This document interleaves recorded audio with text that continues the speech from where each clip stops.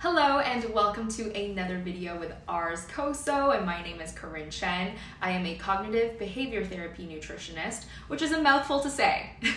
and many people haven't heard of that title before, but what I do essentially is I use CBT techniques and I design nutrition plans to help my clients improve their mental and physical health.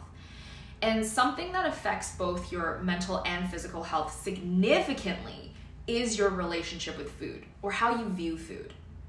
This influences everything from your eating habits, your appetite, your food choices, and how you feel around food.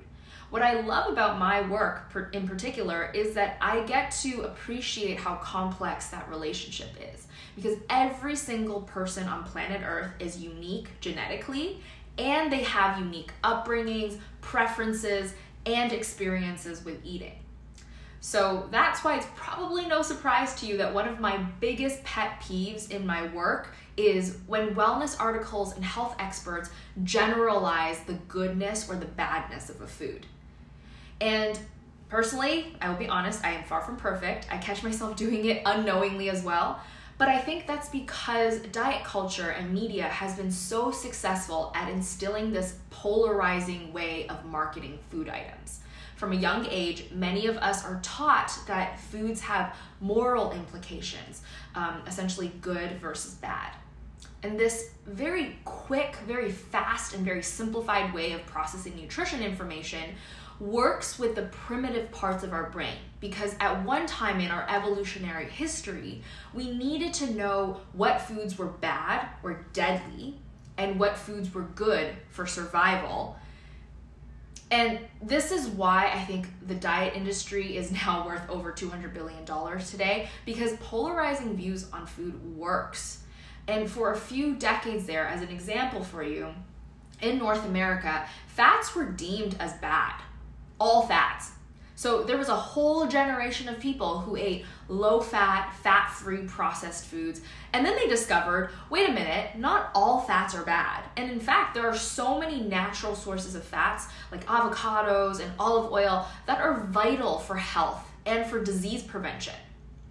And so after that, we didn't really learn a lesson. For a few more decades, people in North America said, okay, all carbs are bad now.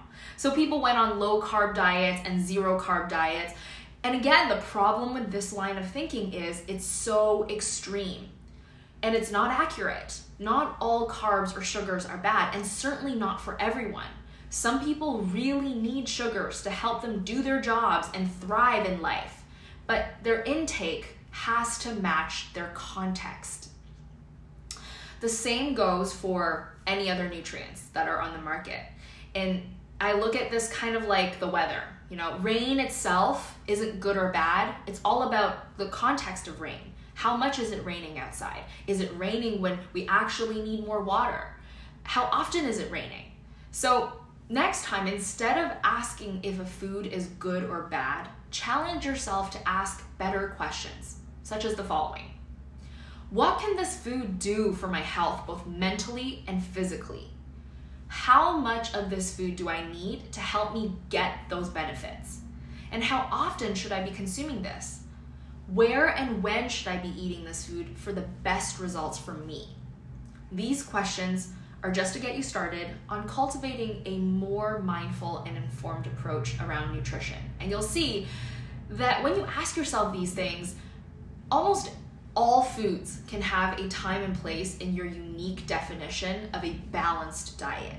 Things like chocolate chip cookies, pizza, broccoli, and tofu aren't good or bad, and eating them doesn't make you good or bad. They're simply here to serve your health. We are no longer living in an era where our foods have to be labeled with these black and white life or death messages. That only exacerbates our disordered relationship with food as a generation. And it keeps us in the dark about how our bodies really function. This is why I've really enjoyed making the videos and articles for R's KOSO because we get to talk about the science and the context at length. And that's really, really important. For those of you who don't know, R's KOSO is a traditional Japanese fermented beverage that contains gut healthy probiotics and a very long list of micronutrients. It's fermented with over a hundred different kinds of whole foods for over a year, and its use for every single person is different. Um, so some people might need a larger serving of it if they're really in a nutrition deficit, while other people need a smaller serving to supplement their already balanced diets. So you get to control how you use it in your healthy journey, and it might even change across your lifespan. So, on that note, I want to say thank you so much for watching this video. I really hope it helps you form a new perspective around food. And again, my name is Keren Chen, and I hope to see you in another video very soon. Have a good day. Bye.